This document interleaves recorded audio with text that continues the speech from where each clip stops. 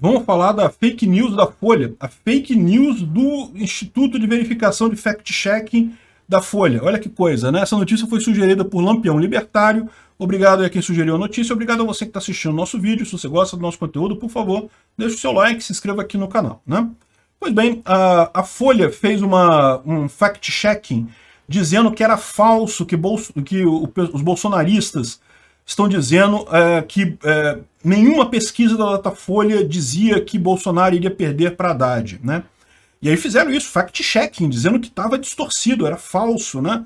Que não, que a Datafolha deu sempre Bolsonaro ganhando de Haddad em 2018. E aí tiveram que corrigir, porque houve sim uma pesquisa que deu Haddad à frente de Bolsonaro pelo Datafolha.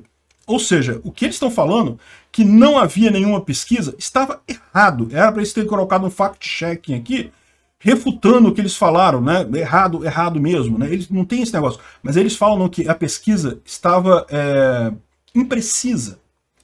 Houve uma imprecisão aqui, ó.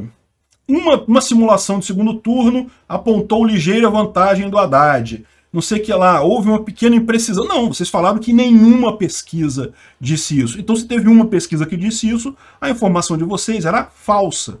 Agora, tem duas coisas para a gente avaliar aqui. A primeira coisa que eu acho mas coisa é, é dizer que, pô, caramba, olha o absurdo que é, como é que esse pessoal usa fact-checking para fazer left-checking, na verdade, né? Se fosse um bolsonarista falando esse absurdo aqui, eles tinham botado que é falso. Mas não, como é a Folha, não, foi imprecisa a informação, foi imprecisa. Não, é, o que a gente falou foi mentira porque estava impreciso, não sei o que lá, né? E você vê esse tipo de exemplo em um monte de situação. Quando é do lado da direita, não é falso, tá errado, é mentira, é anticientífico, é negacionista, não sei o que lá. Quando é do lado da esquerda, não, foi uma imprecisão, houve um, um pequeno deslize, uma coisa leve, assim, uma pequena confusão aqui esse tipo de coisa, né? É, tipicamente, é por isso que eu acho que não, não tem esse negócio de left checking. Por quê? Porque essas agências de checagem, o que elas fazem é dar uma notícia contradizendo a outra. Continua sendo a opinião delas do mesmo jeito. Elas deviam fazer a coisa, pelo menos honesta, de dizer, não, é opinião. Não é uma... A gente não está dando um veredito aqui, a gente está dando uma opinião sobre esse tema. E isso é verdade na prática, né? Enfim, o fato é que eu nem me preocupo tanto com isso, porque hoje em dia o pessoal já não está tá todo mundo percebendo que essas agências de left checking é tudo tendencioso mesmo, então já estão ignorando esse troço de qualquer forma, não faz diferença isso daqui, né? Mas existe um outro aspecto que eu acho mais interessante da gente ver desse caso aqui, que é justamente por que, que a Folha achou que era importante dizer que o Datafolha nunca errou, né? O que está acontecendo? Vocês estão vendo um fenômeno, assim, uma coisa que nunca aconteceu na história das eleições brasileiras. Toda semana tem pesquisa eleitoral da eleição de 2022, agora em 2021. Isso nunca existiu. Ah, haviam algumas pesquisas um ano antes da eleição? Haviam, havia algumas pesquisas, uma aqui, outra ali. É, nunca houve tanta pesquisa como a gente tem agora, uma atrás da outra e dando resultados, tipicamente, que o Lula já está eleito. Pode entregar a faixa para o Lula, já está eleito, já não tem nem chance para Bolsonaro e coisa e tal. E aquilo que eu falei para vocês, que está mais, mais do que na cara, por que, que eles fariam tantas pesquisas, uma em seguida da outra, tão antes da eleição. Né? Veja, eu entendo que, fazer uma pesquisa desse tipo perto da eleição faria sentido, né? Ter um monte de pesquisa ali entre julho e, e as eleições, vai ter um monte de pesquisa mesmo. Toda semana vai ter pesquisa, é o normal, sempre tem isso. Mas há um ano da eleição nunca teve esse, esse monte de pesquisa, não é uma só. E aí por que, que eles estão fazendo isso? Porque eles não estão conseguindo o efeito que eles pretendiam com isso, né? Está na cara que essas pesquisas foram criadas com o propósito de influenciar o eleitor. Só que o eleitor hoje em dia tem o um caminho da informação descentralizada e distribuída.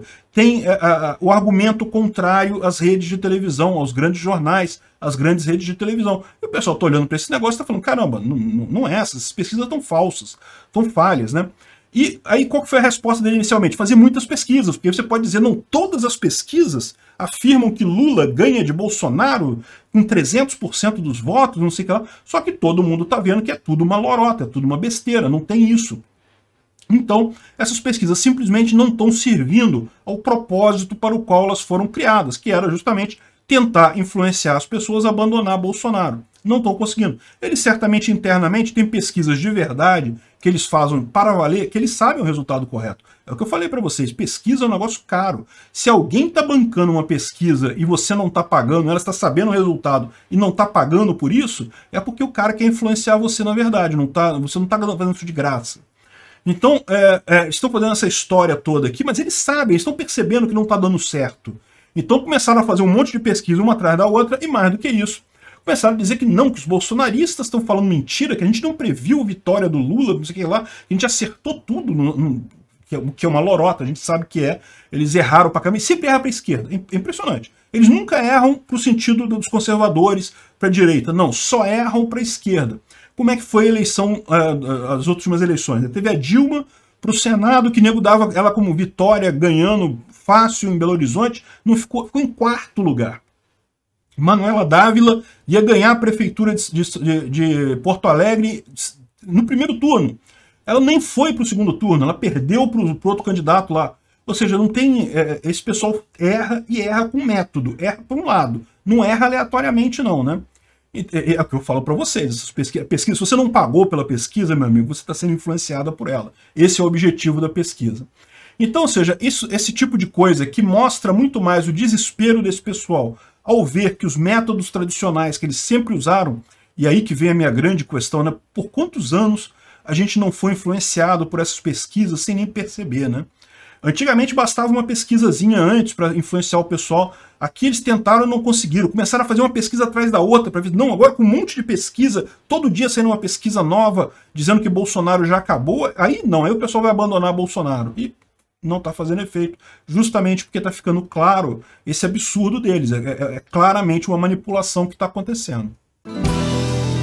Obrigado por sua audiência. Se gostou do vídeo, por favor, deixe o seu like e se inscreva no canal para aumentar a relevância dele no YouTube. Assim, mais pessoas terão acesso às ideias da liberdade. Considere clicar no sininho e pedir todas as notificações para ser avisado de novos vídeos. Se quiser contribuir sugerindo notícias, vá em nosso site ancap.su, cadastre seu usuário, clique em sugerir pauta. Basta colocar o link da notícia, escolher a melhor foto e confirmar.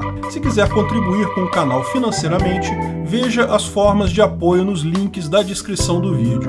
Contribuindo, você pode fazer parte do Discord dos patrocinadores. Se quiser camisas com a marca do canal, veja nossa loja no site pimentanocafé.com.br barra visão libertária. O link está na descrição do vídeo.